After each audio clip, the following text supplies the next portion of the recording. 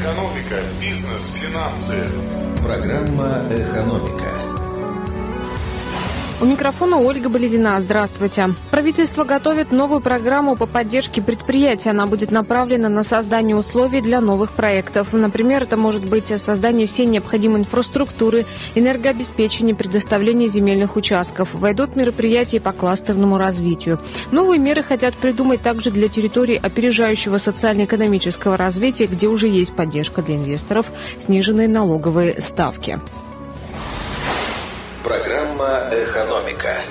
Из-за жары аграрии потеряли более миллиарда рублей. Недобор урожаев из-за засушливой погоды этим летом 20-40%.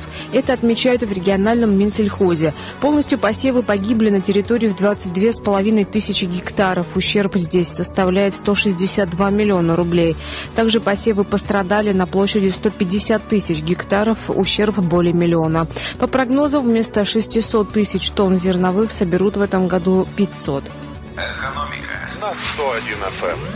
На новых автобусах некому будет работать. Кирову не хватает водителей общественного транспорта. Это может привести к тому, что более 50 новых автобусов, которые хотят купить для города, будут стоять в парке.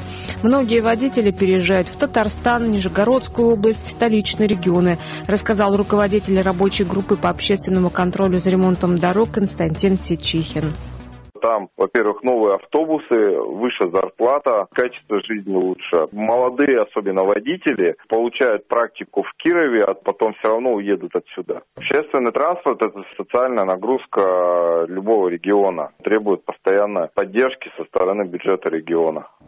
На нехватку водителей уже ссылаются кировские частные перевозчики, которые выводят на линию половину заявленного транспорта. Проблему подтверждают и в муниципальном автотранспортном предприятии. Там говорят, что не могут удержать зарплатами персонал, поскольку экономику предприятия сильно подорвала пандемия. Экономика.